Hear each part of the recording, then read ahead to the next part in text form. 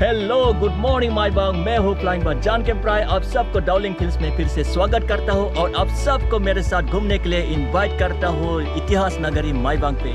मैं फ़िलहाल यहाँ लोंगठाइनी नो यानी कि स्टोन हाउस पे आया हूँ, जो 1400 सेंचुरी में बनाए गए थे।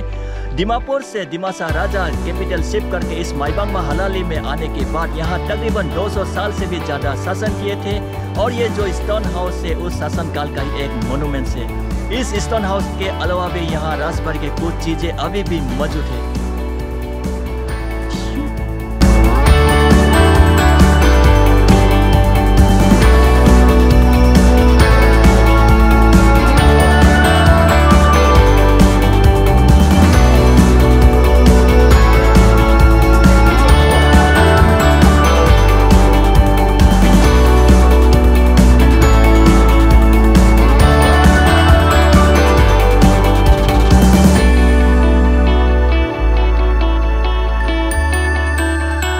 बड़ा सा पत्थर को काट काट के ये पत्थर का घर बनाए हुए है और कुछ रीजन से ये इनकम्प्लीट है।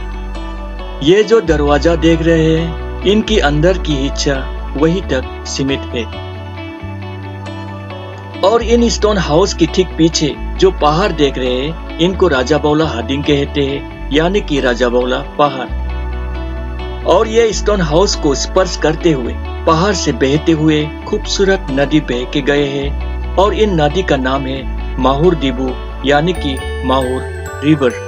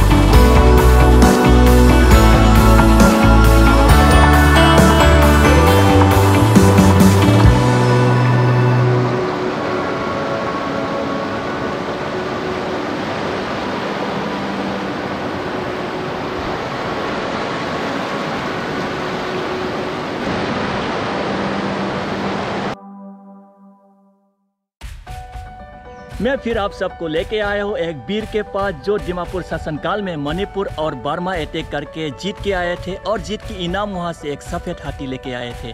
वो वीर की नाम है वीर दिमाली कैंपराय जो 1201 एडी में दिमापुर में जन्म हुए थे। उनकी जागता हुआ वीरता को सजीव रखने के लिए यहाँ माईबांग हलाली में उसकी बड़ा स्टेचू बनाया है। जो स्टेचू यहाँ के माईबांग हलाली के लोगों को, उनकी पूर्वज की ताकत को याद दिलाते रहे।